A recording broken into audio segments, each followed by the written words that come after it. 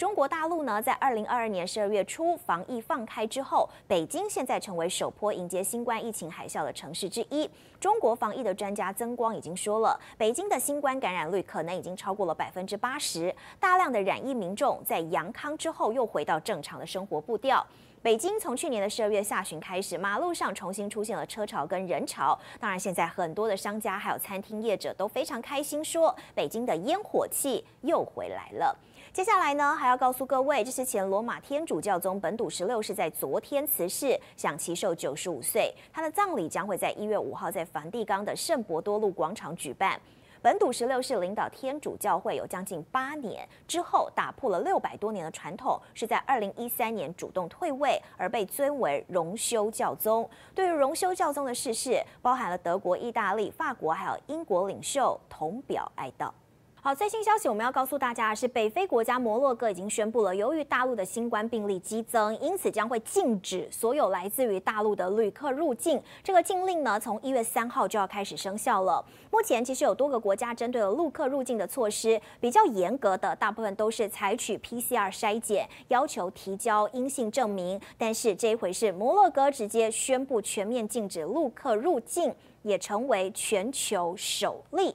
好，今天是新的一年的开始，但是北韩却选择在元旦这一天再度试射飞弹了。南韩媒体引述了韩国军方的说法，北韩是在当地时间今天凌晨两点五十分，从平壤向朝鲜半岛东部的海域发射了一枚弹道飞弹。北韩其实昨天才刚刚发射了三枚的短程弹道飞弹，没有想到不到二十四小时又再度采取行动。当然也显示，在一开年北韩就要昭告天下，今年朝鲜半岛的局势也不会太平静。大陆国家主席习近平发表二零二三年的新年贺词，针对了疫情还有两岸的情势喊话。每个人都不容易，目前。疫情防控进入新阶段，仍是吃劲儿的时候，曙光就在前头。海峡两岸一家亲，衷心希望两岸同胞相向而行。新年前，好，大陆日前宣布了大解封，全面放宽出入境的管制。习近平表示，大陆的防疫进入新的阶段，曙光就在前头。这回，他也特别提到两岸一家亲。尽管在谈话当中没有出现台湾两个字，但是呢，习近平的言辞还是坚定透露一国两制的决心。才刚刚放宽防疫工作的香港，在昨天晚间的跨年晚会，有多达三十三万民众在维多利亚港的两岸观赏加入烟火效果的加强版本的幻彩咏香江的灯光秀，迎接二零二三年的到来。好，不光是在岸上挤满人，就连在海上也有大大小小的游艇一起倒数。一、二，二零二三年新年快！会展中心的大型倒数钟，带领大家迎来二零二三年，也开启了加强版有烟火的幻彩咏香江。港岛十座主要大楼随着音乐绽放烟火，还有镭射舞动的灯光效果。尖沙咀文化中心外是最佳的观赏角度，现场挤满民众，不少人下午就来占位置。警方指，尖沙咀一带有三十万人，而港岛就有三万人。因为疫情三年来首度再回到维港举行大型的跨年活动，而前两天也取消了大部分的防疫安排，让大家不用在家看电视倒数。因为三年啦，除口罩係正常一件事咯。今年係第一年出嚟倒數。誒，我希望可以今年俾心機讀書。除了岸上，也有不少民众搭游艇或观光船，以不同角度欣赏这场十分钟的灯光秀。而为了避免人群聚集发生上韩国万圣节的人踩人，现场也加派警力疏导人群。以上是驻香港记者李景华的报道。接下来呢，这个画面我们一块来带大家来看到，这是现场的最新，包含了这个法国现在已经迎接他们新的一年，来看到现场。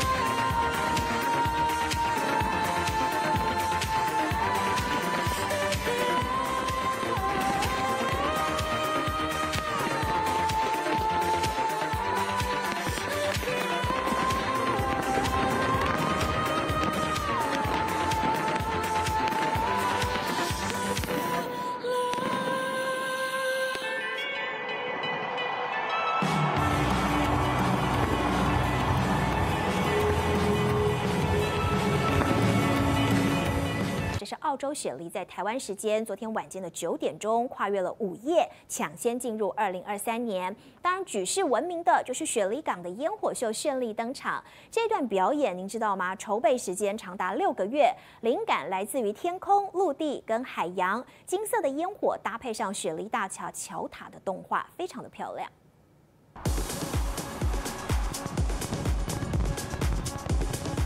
全球瞩目的雪梨烟火秀在疫情解封后以空前规模盛大登场。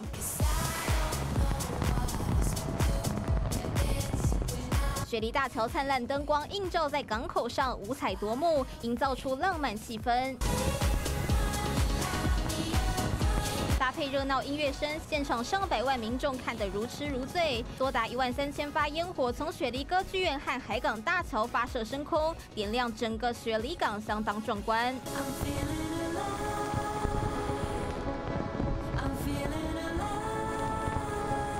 历经大约三年的疫情封锁，澳洲终于迎来第一个免除防疫限制的跨年庆祝活动，超过一百万人涌进雪梨海滨，观赏这长达十二分钟的烟火秀。